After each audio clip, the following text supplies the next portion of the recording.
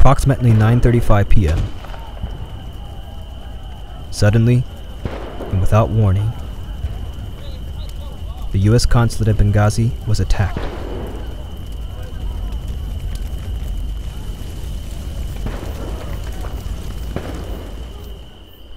As many as 125 armed men descended on the consulate from all directions.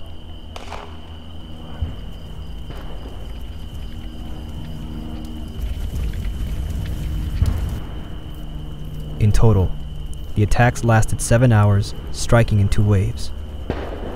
In the end, many were wounded, while four U.S. personnel ended up dead, including United States Ambassador Christopher Stevens.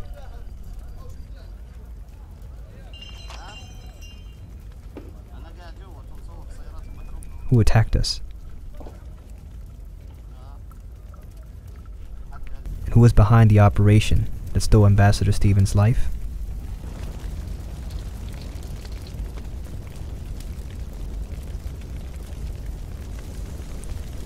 The Allies of President Barack Obama.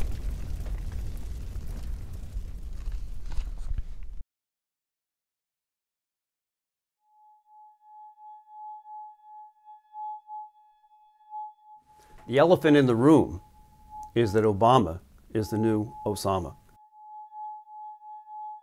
The same people who carried out September 11, 2001, uh, carried out September 11, 2012.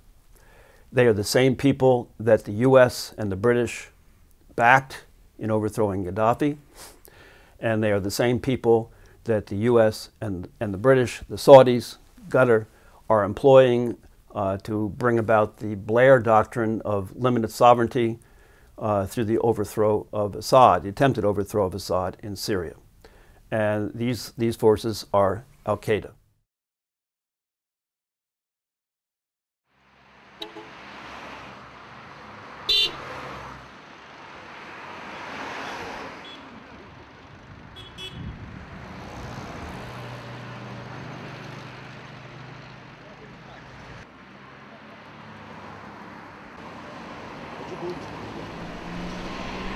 In 1990, in eastern Libya, a militia group was founded calling themselves the Libyan Islamic Fighting Group.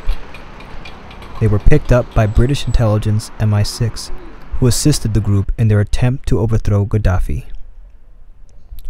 In 1996, they failed, and by 1998 were effectively defeated, sending hundreds of the Libyan fighters fleeing to Afghanistan, Sudan, and Iraq while many were imprisoned by Gaddafi in Tripoli's notorious Abu Salim prison. Among those who managed to escape and avoid imprisonment were Abdel Hakim Belhaj and Sufyan bin Kumu. These men and the hundreds of members of the Islamic Fighting Group became President Obama's allies in the 2011 successful overthrow of Gaddafi. Sufyan bin Kumu and Abdel Hakim Belhaj will be joined in the 2011 jihad against the Libyan government by Wissam bin Hamid, a key commander of a Libyan militia. They are Al Qaeda, and their profiles speak for themselves. Sufyan bin Kumu Sufyan bin Kumu escaped a 10 year sentence in 1993 fleeing to Egypt. He then traveled to Afghanistan and trained at the Torkham camp of Osama bin Laden, where he became a faithful adherent and followed Osama bin Laden to Sudan. He joined Libyan Islamic Group in 1998. After the attacks of September 11, 2001, he was arrested in Pakistan and sent to Guantanamo Bay prison when it was revealed that he had been Osama bin Laden's personal driver.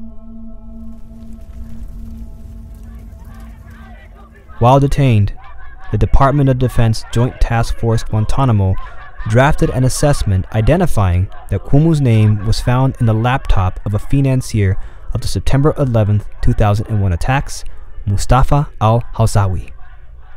The assessment specifies. Detainee's alias is found on a list of probable Al Qaeda personnel receiving monthly stipends. His alias was also found on Al Qaeda's 11 September attacks financier Mustafa al Hawsawi's laptop as an Al Qaeda member receiving family support.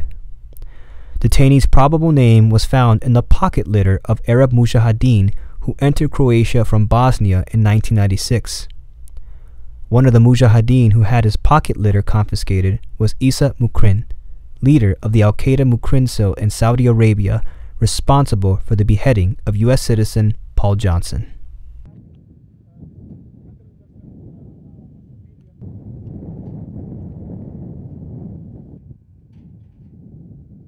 Sufyan bin Kumu transferred from Guantanamo to Libya, where he was released from Abu Salim prison in 2010 and became the leader of the Ansar al Sharia militant group formed during the effort to kill Gaddafi.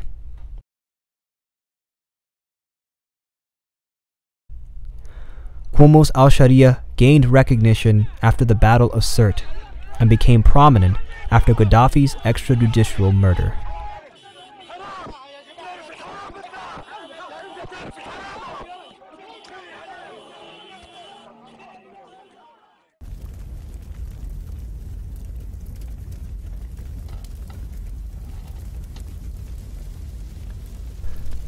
Wissam bin Hamid. Wissam bin Hamid is a commander of the militia group Libyan Shield and Free Libya. According to Arabic sources, Hamid commanded Libya Shield rebel forces that besieged Gaddafi's hometown of Sirte, resulting in the capture and extrajudicial murder of Gaddafi. The jihadist forum Al Fetan has archived a biography of Hamid identifying him as a veteran of jihad in the Iraq and Afghanistan wars fighting against U.S. forces. Under his command, Libya's shield fought under the flag of Al Qaeda.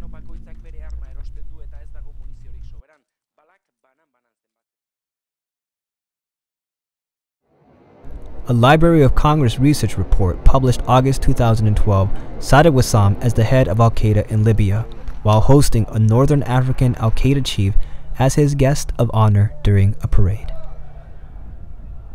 The Jihadist Forum Al Fetan has archived a biography of Hamid, identifying him as a veteran of jihad in the Iraq and Afghanistan wars, fighting against U.S. forces.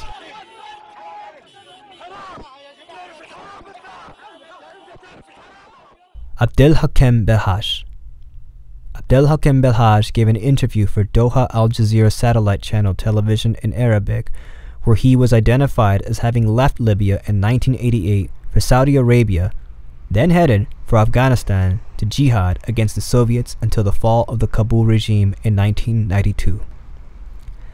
Belhaj then headed for Sudan and stayed until 1996, which means, for the span of about seven years, Belhaj was with Osama bin Laden in Afghanistan and then Sudan, where bin Laden lived until he was expelled in 1996. After the Libyan War, Belhaj was appointed head of the 20,000 strong Tripoli Military Council. His appointment was made possible after the assassination of its former commander, Abdel Fattah Yunus, who defected from Gaddafi.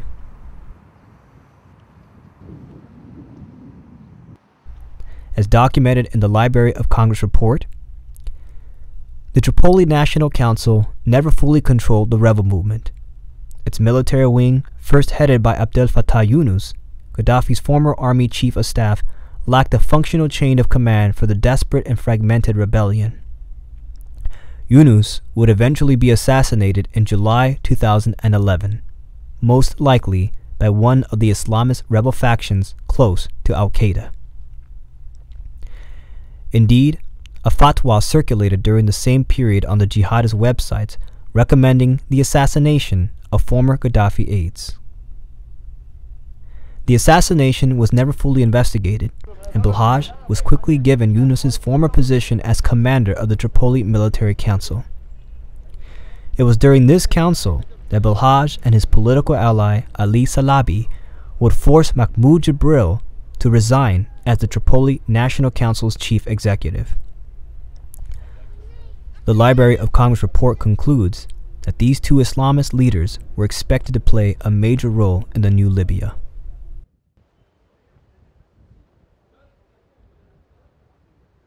Good afternoon, everybody. Today, the government of Libya announced the death of Muammar Gaddafi. This marks the end of a long and painful chapter for the people of Libya, who now have the opportunity to determine their own destiny in a new and democratic Libya. But the United States, together with the international community, is committed to the Libyan people. You have won your revolution.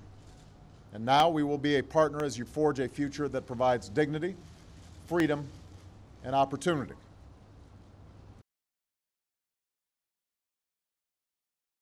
After Kumu and Belhaj were released from Abu Salim prison, and Hamid gained a decade of experience fighting against U.S. forces in Iraq and Afghanistan, the three were brought together under the auspices of the Executive of the United States, armed, and called the Liberators of Libya. These three and others were provided air support by the US President without the consent of Congress to wage jihad in Libya, and eventually became instrumental in the attacks on the US Embassy in Benghazi September 11, 2012.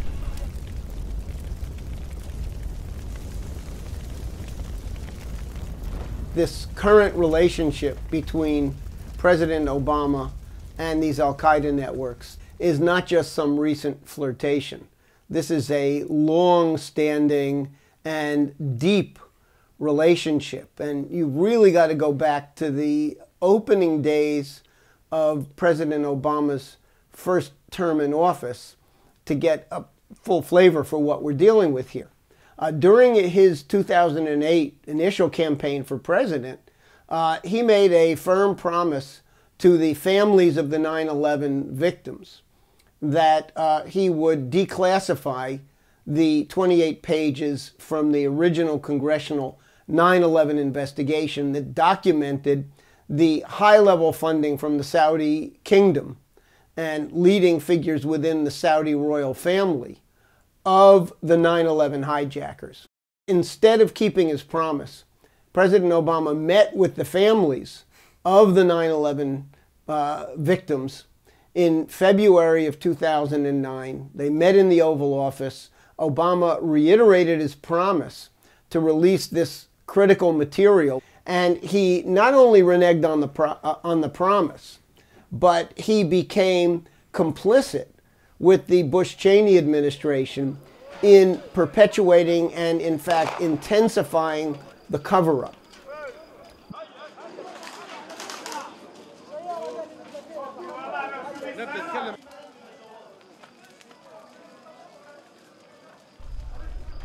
Five and a half hours after the initial attack, eight U.S. Marines from Embassy Tripoli arrived at Benghazi airport to provide assistance to the remaining Americans hiding out at a CIA safe house.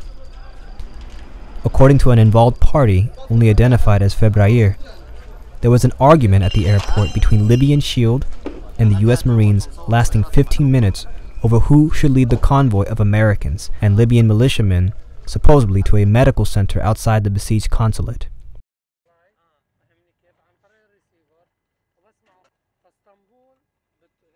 Eventually, it was agreed that the US officers would lead and the Libyan militia were to follow at a distance so as not to cause suspicion. The Marines suddenly changed direction. Febrayer was ordered to continue following them. Arriving shortly after the Marines at the CIA compound around 4 a.m., Libyan Shield quickly scattered from the location. Only minutes later, the second wave of armed attacks began. Hours before the first attack, U.S. Embassy Tripoli reported to the State Department in a regular weekly report that officials had met with the leader of Libyan Shield, Wissam bin Hamid. Hamid warned officials that if the U.S. backed candidate for Prime Minister Mahmoud Jibril were to win, Hamid would cease to provide security for Americans in Benghazi.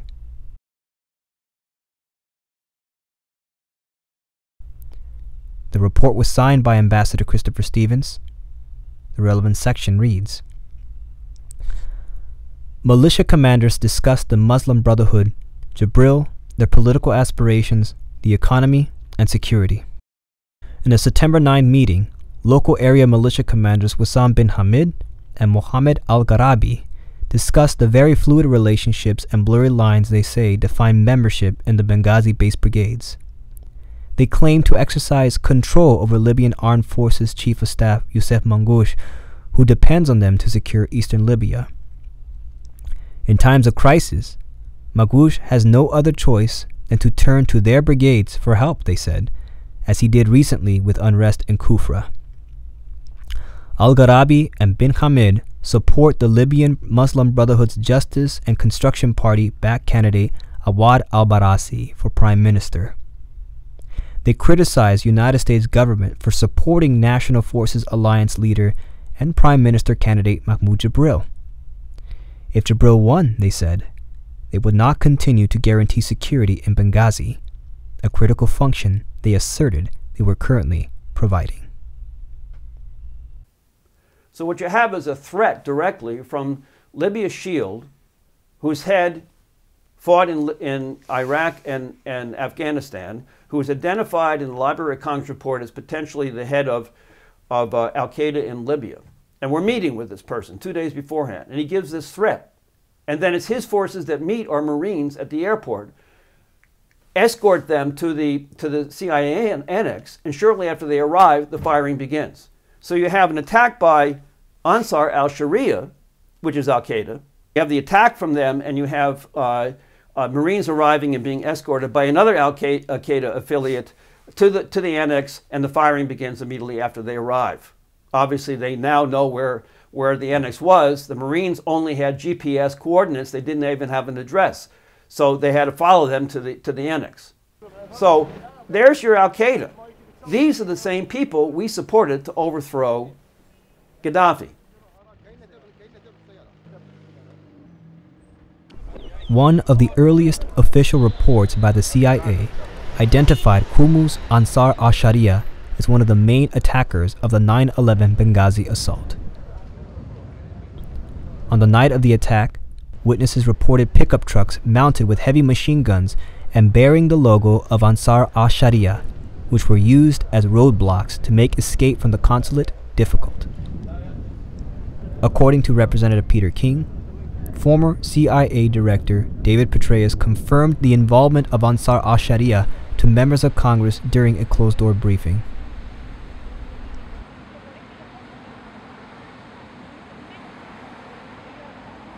The identification of the Al Qaeda affiliated Ansar al Sharia was extremely excluded and replaced with information asserted by the Obama administration's U.S. Ambassador to the UN, Susan Rice, during her appearance on five different talk shows Sunday, September 16th. Uh, you know, we have no uh, information to suggest that it was a pre-planned uh, attack. This is a fairly volatile situation, and it is in response not to United States policy, uh, not to obviously the administration, not to the American people. It is in response to a video, a film that uh, we have judged to be reprehensible and disgusting. Go back to Belhaj.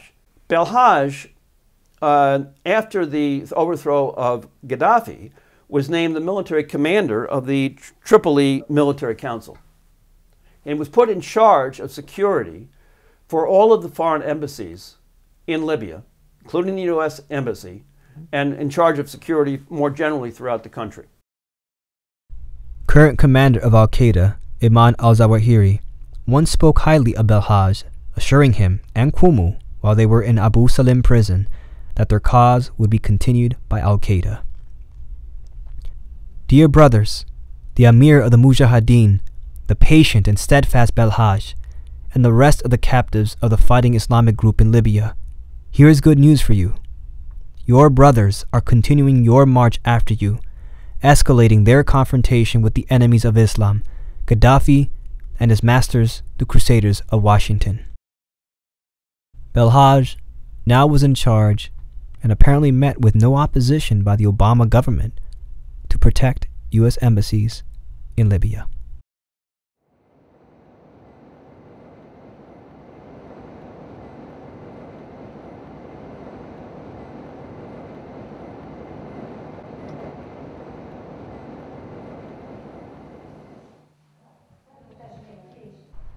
November, weeks after Gaddafi's execution, the Libyan Zintan brigade detained a man at Tripoli airport, headed for Istanbul, reportedly using a fake passport.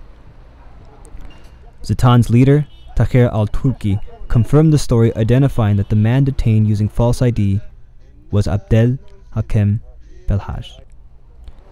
A military official working under Belhaj admitted the purpose of his trip was to meet with rebel leaders of Syria in Istanbul and on Turkey's border, calling it an important mission where Belhaj, according to sources, discussed sending Libyan fighters to train anti Assad troops. As the Libya events were unfolding, you already had the beginnings of a drive to overthrow the Assad government in Syria using the same combination of resources. In fact, uh, Gaddafi, before he was overthrown and assassinated, had developed very extensive stockpiles of all kinds of weapons, including uh, shoulder held anti aircraft uh, missiles, including anti tank weapons, you name it. And after the overthrow of Gaddafi, a lot of those weapons simply went onto the black market, and a lot of them fell into the hands of Al Qaeda in Libya. In fact, it was some of those weapons, like RPGs, that were used by the Al Qaeda front group Ansar al Sharia to carry out the assault on the U.S. mission and the CIA station in Benghazi, which resulted in the killing of Ambassador Stevens and three CIA officers. A lot of those weapons we know have now since then gone into Turkey and have been smuggled across the border uh, into Syria to arm, guess what? Another branch of Al Qaeda that has been doing all of the heavy combat operations to overthrow the Assad government.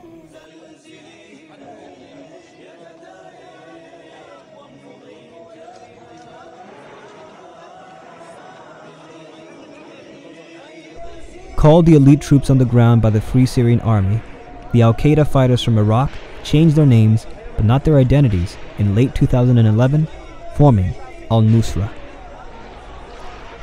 Like Wissam bin Hamid, Al Nusra gained nearly a decade of experience at war with the United States Army under the Al Qaeda flag in Iraq.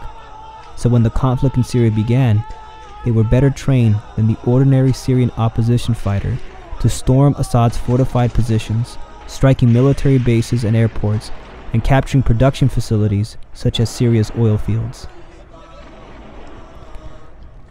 The group's affiliation with Al Qaeda has also been identified by Iraq's Foreign Minister Hoshyar Zebari, who told the Associated Press in early July 2012 that Iraq had solid evidence that members of the extremist group Al Qaeda in Iraq, who previously had streamed from Syria into Iraq, were moving in the opposite direction. Zebari said, Our main concern, to be honest with you, is about the spillover, about extremist, terrorist groups taking root in neighboring countries. The State Department and Treasury Department today have finally placed the Al Nusra group on the list of international terrorist organizations. Now, is this going to make any difference on the ground inside Syria in terms of what's going on? Absolutely not. The Al Nusra group is the dominant fighting force. Because they're successful, they get more of the money from Saudi Arabia, they get more of the weapons. And what the State Department was forced to acknowledge today is something that we've been saying here at LPAC TV for weeks and months namely that the Syrian opposition is dominated by Al Qaeda. Al Nusra claimed the responsibility for the bombings in Aleppo, Medan, and the Damascus bombing of March 2012. Al Nusra has been behind the killing of civilians, the murder of the journalist Mohammed al Sayed, the attack on a television station on June 27, as well as the advanced sabotage of radars and rockets and multiple attempts to occupy official Syrian military bases.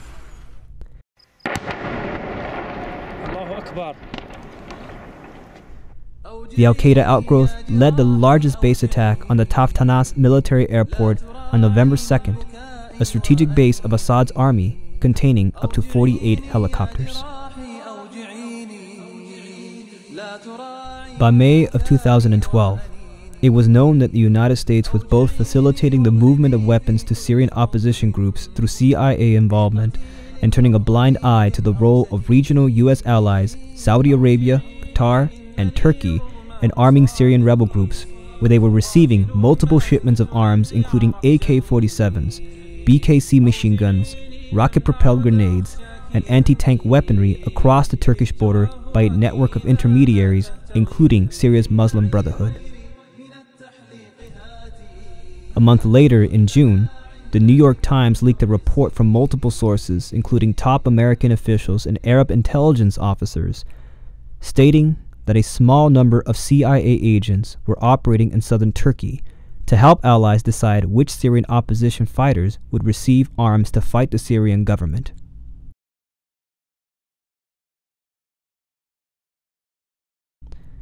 At that time, the Obama administration stated that it was not providing arms to Syrian rebels, but nodded to the fact that Syria's neighbors would do so.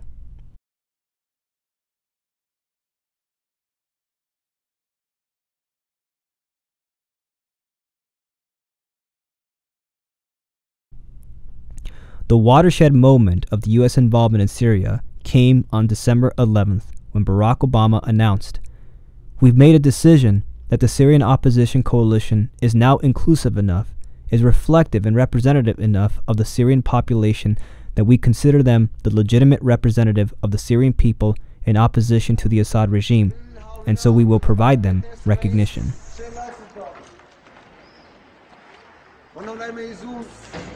لا يميزون أي شيء أمامهم. ذاك ما ترون الناس حولنا. واقفون تحت القصر. الناس حولنا. الله أكبر. الله أكبر. الله أكبر. الله أكبر. عليك يا بشار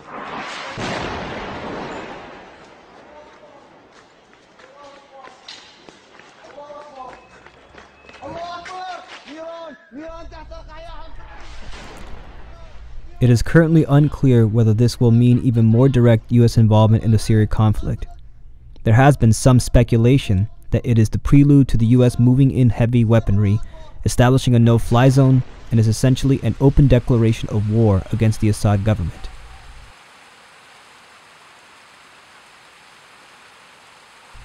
It is clear, however, that this is a blatant violation of the June 30th Geneva Communique agreed to by the US, Russia, China, and other major world powers and regional powers. But what's a treaty obligation to Obama?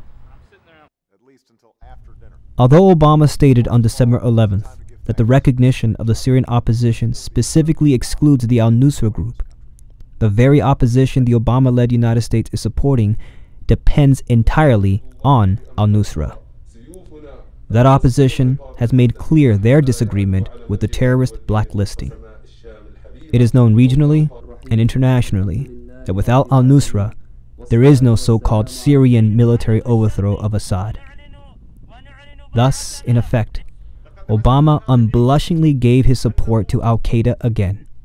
He officially recognized as the legitimate representatives of the Syrian people the Al Qaeda that aided in the murder of over 3,000 American soldiers in combat in Iraq, the Al Qaeda supported and protected by Saudi Arabia, Great Britain, and the United States again and again in Syria, in Libya, in Iraq, in Afghanistan, and in the September 2001 attacks on New York City and Washington, D.C.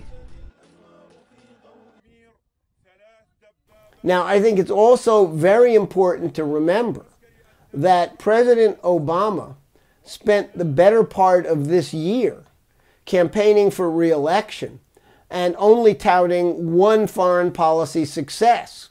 And that so called success was that he killed Osama bin Laden and claimed that he had crushed Al Qaeda as the result of that. Well, he clearly was ultimately responsible for the killing of Osama bin Laden. But it's looking more and more like a leadership succession within Al Qaeda.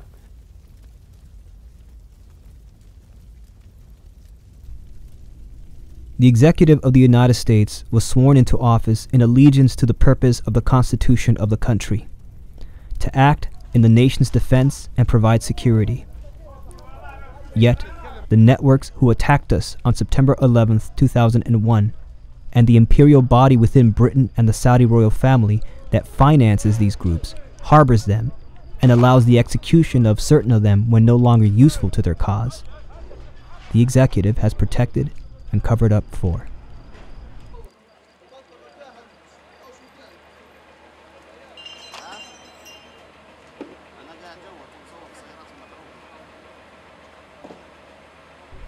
It is a fact that President Obama never held to his promise he made personally to families of 9 11 victims in the Oval Office on February 2009 to release classified documents that would reveal how Prince Bandar bin Sultan and the Saudis financed the 9 11 hijackers. It is a fact that the president, in two separate occasions, used members of his administration to sabotage court cases against the financiers of the Al Qaeda attackers.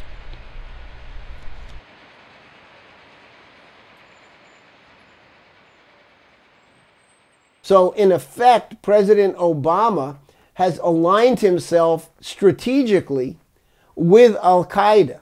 They were the main force that the U.S. backed in Libya to get rid of Gaddafi.